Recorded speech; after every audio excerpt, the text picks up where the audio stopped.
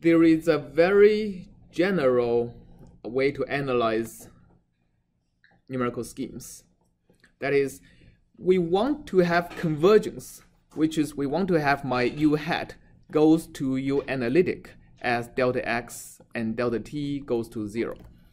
This is what I want, right? Because I want analytical solution, but u hat, the numerical solution is all I want to, all I can compute.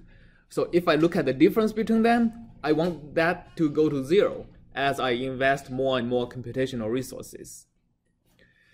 But all I can know is consistency. So I can analyze beforehand if I'm developing a numerical scheme. All I know is how does tau goes to zero as delta x and delta t goes to zero. Tau is the approximation of all the differential operators in my differential equation. So this is consistency.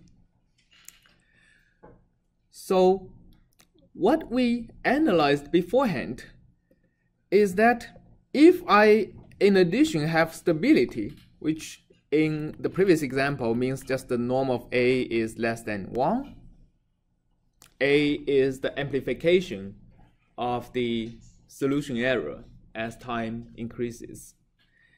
That means if I have stability and I have consistency, when both is satisfied, I will get convergence.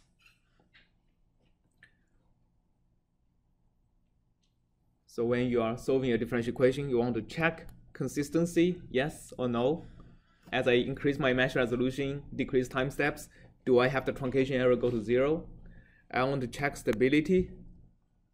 If I don't have truncation error, would my solution error decay to zero eventually? right? For example, a good case to check is when the analytical solution is zero, right? If you perturb the numerical solution slightly, would it go back to zero? And then you should have convergence.